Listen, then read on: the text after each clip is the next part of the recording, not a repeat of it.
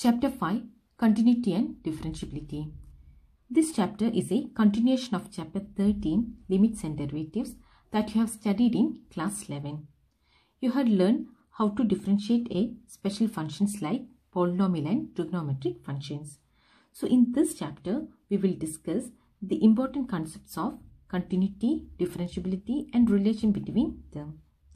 Also, we will learn how to differentiate and inverse trigonometric functions and will introduce new techniques to differentiate a function easily. In today's lecture, we will discuss about continuity. That is, the concept of continuity, how a function become continuous at a point, discontinuous functions, its graphical peculiarities, and we will do some examples. Continuity. In a simple way, we can define a function is continuous when its graph is a single unbroken curve. That is, we can draw a graph without lifting the pen from the paper. Now look at these two graphs. I can draw this graph without lifting my pen from the paper. So this is a continuous function. But here I have to lift my pen to draw the second curve.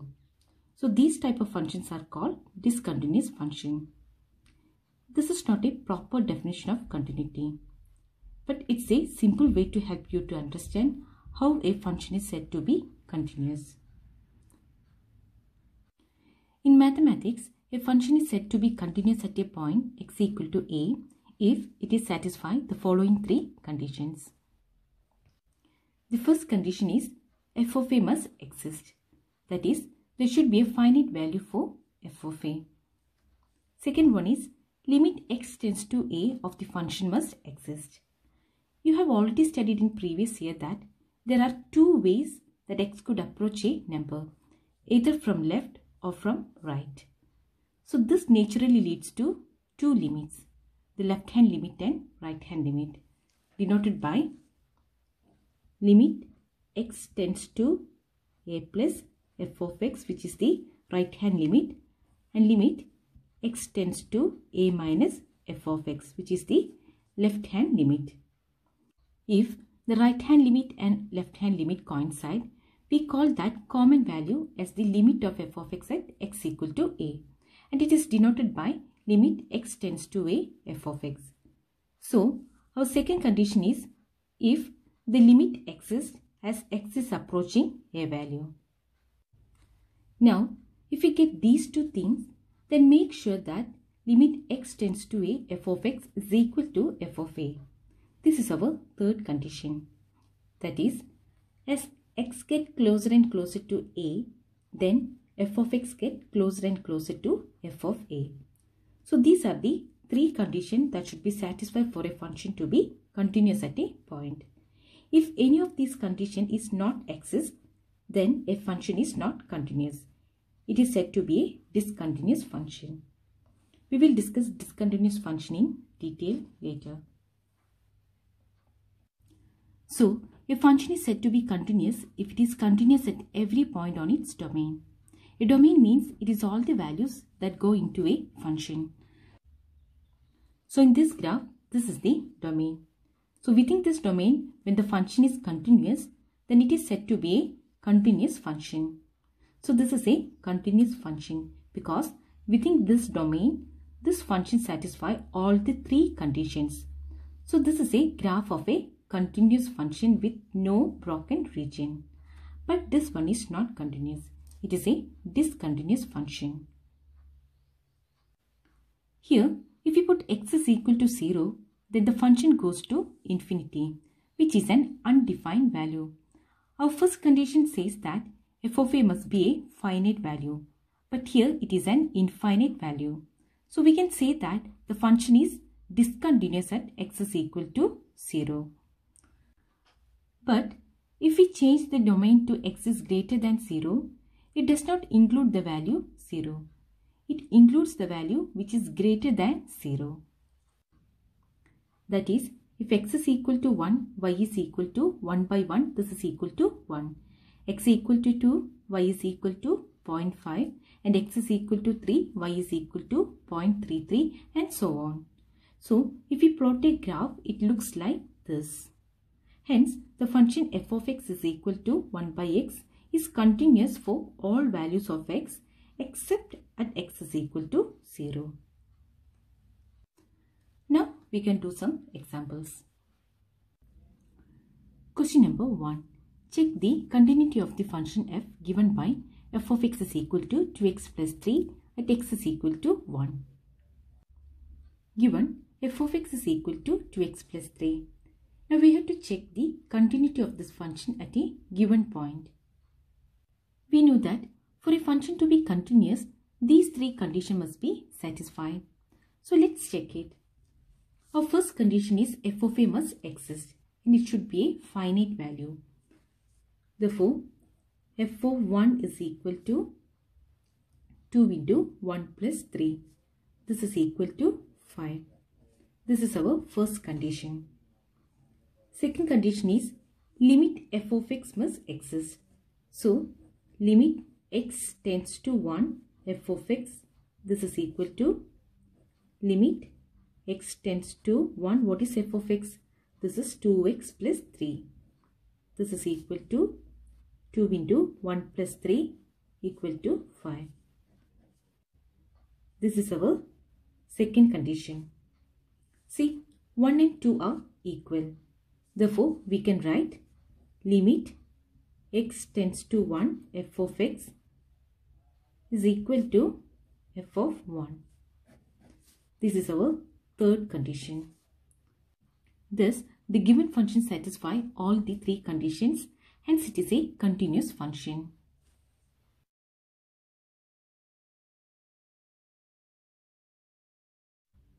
Question number 2. Discuss the continuity of the function f given by f of x is equal to modulus x at x is equal to 0. Here, the function is a modulus.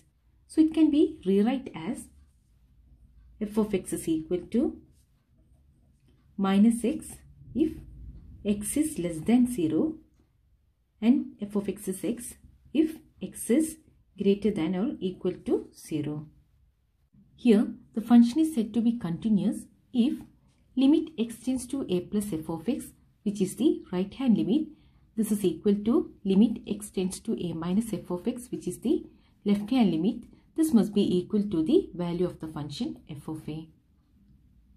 Here the function is defined at x is equal to 0. Therefore, f of 0 is equal to 0. This is our first condition.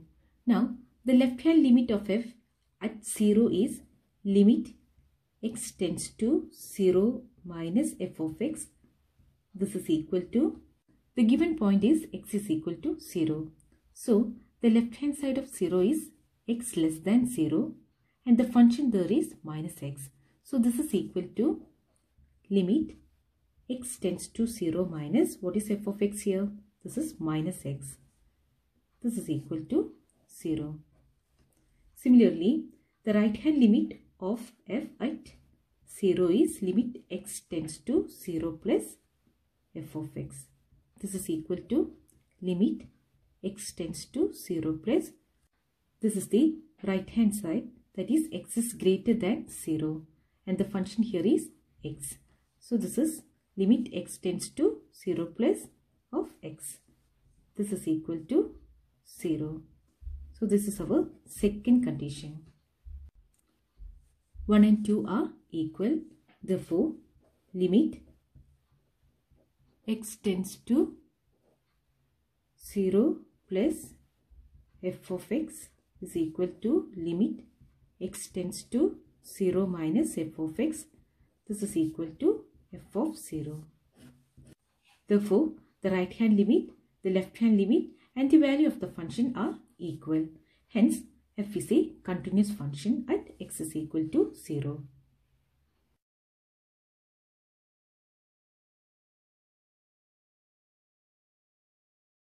Question number 3. Show that the function f is given by f of x is equal to x cube plus 3 if x is not equal to 0 and f of x is equal to 1 if x is equal to 0 is not continuous at x is equal to 0. Here the function is defined at x is equal to 0 and its value is 1. Therefore, f of 0 is equal to 1. When x is not equal to 0, f of x is equal to x cube plus 3. This is a polynomial function. So limit x tends to 0, f of x is equal to limit x tends to 0. What is f of x here? This is x cube plus 3. This is equal to 0 plus 3 which is 3. This is our second condition. So look at 1 and 2. These two are not equal to each other. Therefore, limit x tends to 0 f of x is not equal to the value of the function f of 0. Hence, the function is not continuous at x is equal to 0.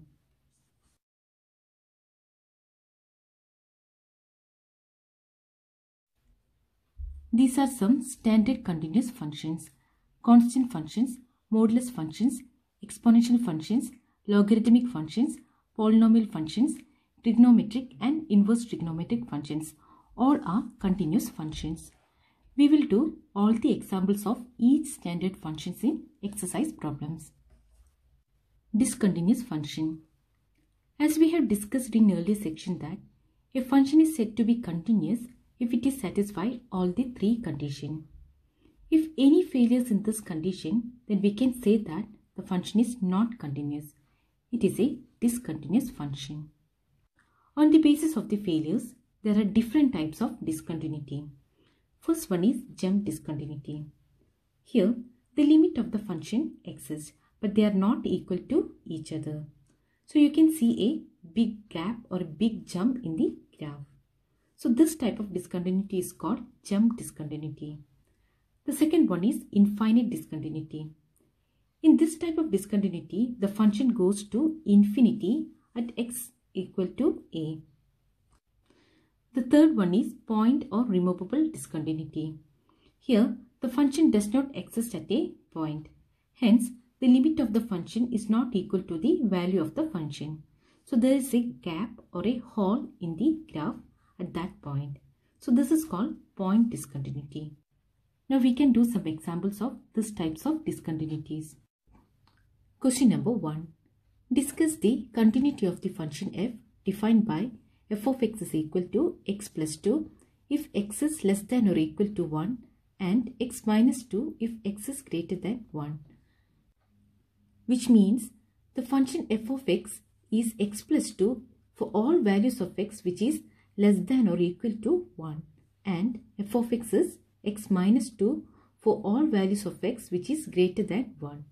So here the function is defined at all the real numbers. Case 1. If x is less than 1, f of x is x plus 2. Then f of a is equal to, a can be any real number which is less than 1. So f of a is equal to a plus 2. This is our first condition. Now the second condition is limit x tends to a, f of x, this is equal to limit x tends to a. What is f of x? This is f of x plus 2. This is equal to a plus 2. This is our second condition. See, 1 and 2 are equal. Hence, we can write limit x tends to a f of x. This is equal to f of a. This is our third condition. So, the function satisfies all the three conditions. Therefore, we can say f is a continuous for all the real numbers which is less than 1.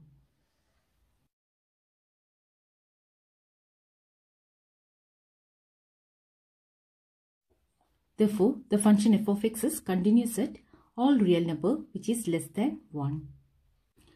Now, case 2. If x is greater than 1, what is f of x here? We know f of x is x minus 2. Then, f of a is equal to a minus 2. Limit x tends to a, f of x is equal to limit x tends to a, f of x minus 2. This is equal to a minus 2. this is our second condition. See 1 and 2 are equal. So we can write limit x tends to a f of x is equal to f of a. This is our third condition.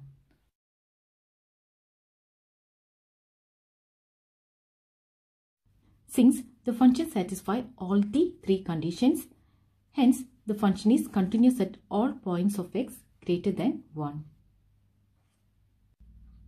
Case 3. If x is equal to 1, then the limit of f of x as x approaches 1 from left hand side is limit x tends to 1 minus f of x. This is equal to limit x tends to 1 minus. Now what is f of x here? This is x plus 2. This is equal to 1 plus 2 equal to 3. Similarly, the right hand limit of f at x equal to 1 is limit x tends to 1 plus f of x. This is equal to limit x tends to 1 plus. Now what is f of x here? If x is greater than 1, then f of x is x minus 2. So this is equal to 1 minus 2 equal to minus 1. So here the left hand limit and right hand limit both are not equal to each other. Both are not equal to each other. Therefore, the function is not continuous at x is equal to 1.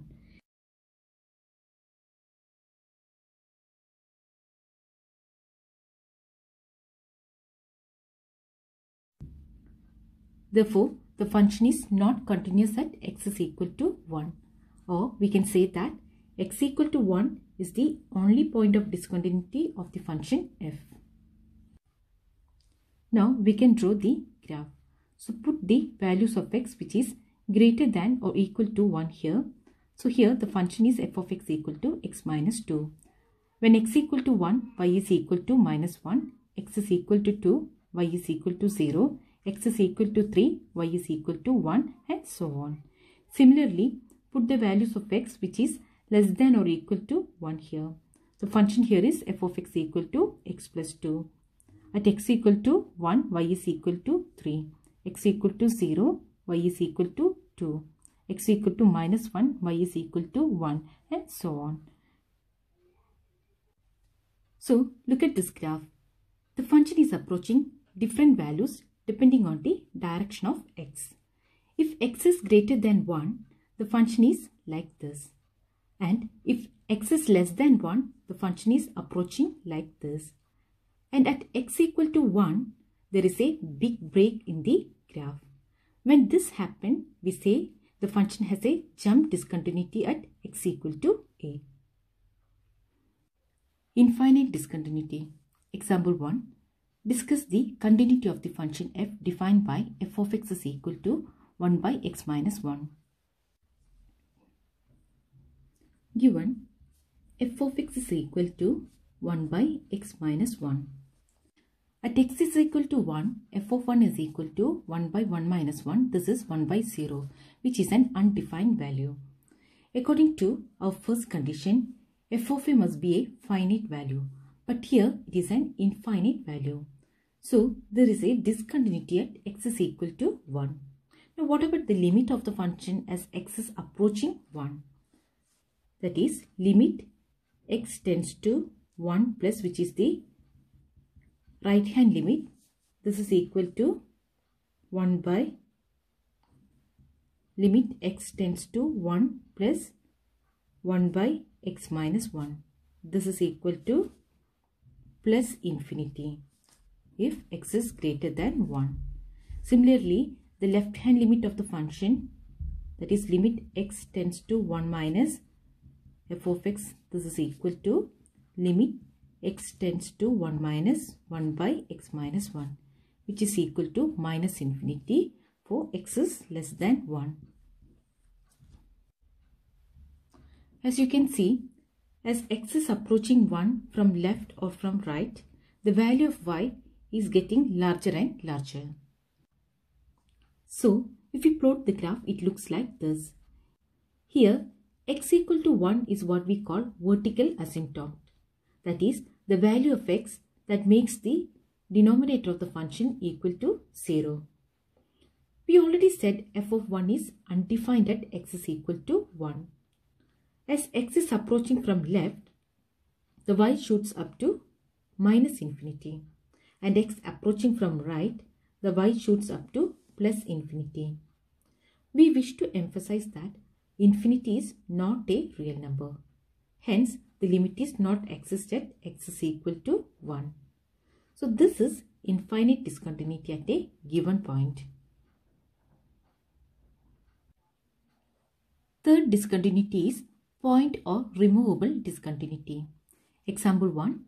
Discuss the continuity of the function defined by f of x is equal to x square minus 1 divided by x minus 1. Given f of x is equal to x square minus 1 by x minus 1. If x is equal to 1, f of 1 is equal to 0 by 0, which is an indeterminate form. So we can say there is a discontinuity at x is equal to 1. So we need another way to answer this. So instead of trying to working it out at x is equal to 1, let's try approaching it closer and closer. Now we can see that x get close to 1, then x square minus 1 by x minus 1 gets close to 2. But at x equal to 1, we don't know the answer, it is indeterminate. So these are the situations that we can use limits. So here, limit x tends to 1, x square minus 1 by x minus 1, this is equal to 2. But at f of 1, this is equal to 0 by 0. So if we plot the graph using this data, the graph looks like this. Now look at this graph. We cannot say what the value of x equal to 1 is. But we can say that as we approach 1, the limit is 2. So the function is discontinuous at x is equal to 1. This type of discontinuity is what we call point discontinuity. Here limit x tends to a f of x is not equal to f of 1. That is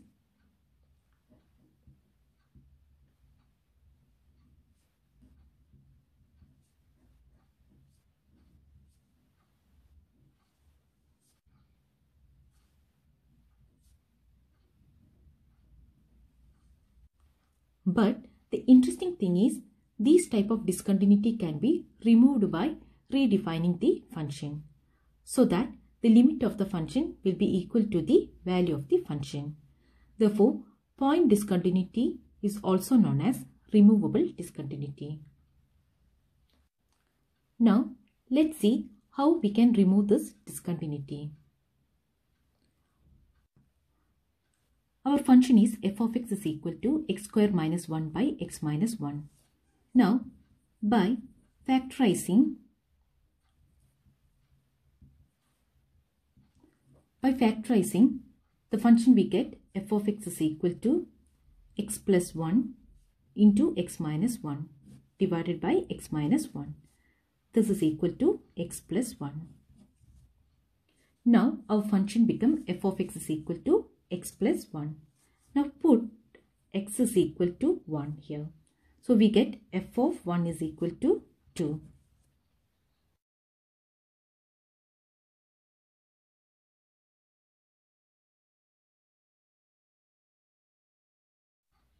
So we can rewrite the function as f of x is equal to x square minus 1 by x minus 1 when x is not equal to 1 and f of x is equal to 2 when x is equal to 1. So what we have done is we redefine the function to make it a continuous function by filling the hole. We have a problem only at x is equal to 1 and there is no problem for any other values. So at x is not equal to 1, the function is f of x is equal to x square minus 1 by x minus 1. But when x is equal to 1, we redefine the function and it is equal to 2 instead of its original function. At x equal to 1, we had a point discontinuity or removable discontinuity. And we filled up the hole by saying that when x is equal to 1, the function is 2. So in that way, we can redefine the function to remove the discontinuity and make the function continuous at that point. So this is an example of removable discontinuity. In the next lecture, we will discuss about the algebra of continuous functions, theorems, its proof and relating examples.